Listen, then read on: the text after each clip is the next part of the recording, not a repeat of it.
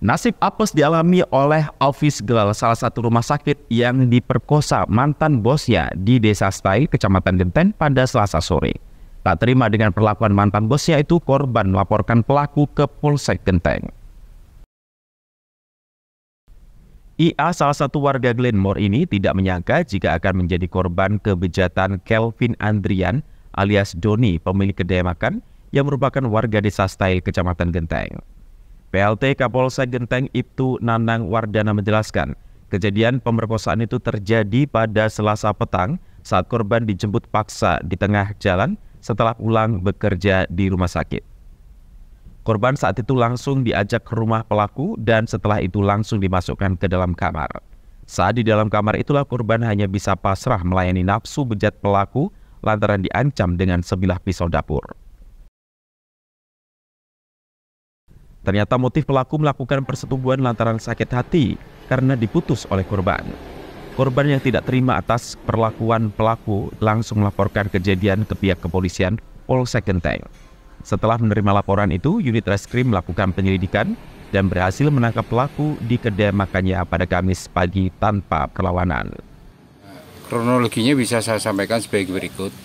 Jadi pada hari Selasa, tanggal 19 ini tersangka ini menelpon saksi Raffi untuk datang ke rumahnya. Selanjutnya dia ditelepon, uh, ayo uh, menjemput korban di rumah sakit.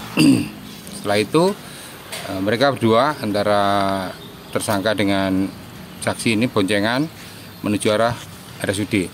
Namun tiba-tiba uh, sampai di jalan kedua orang ini melihat pengendara sepeda motor yang uh, berlawanan arah.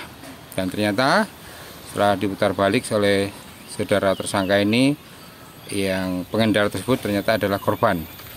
Akhirnya korban ini dipepet dan sekonyong-konyong kontak sepeda daripada korban ini diambil oleh tersangka dan kemudian korban ini dibonceng tersangka menuju arah rumahnya di desa Style selanjutnya Eh, korban dibawa masuk ke rumah korban.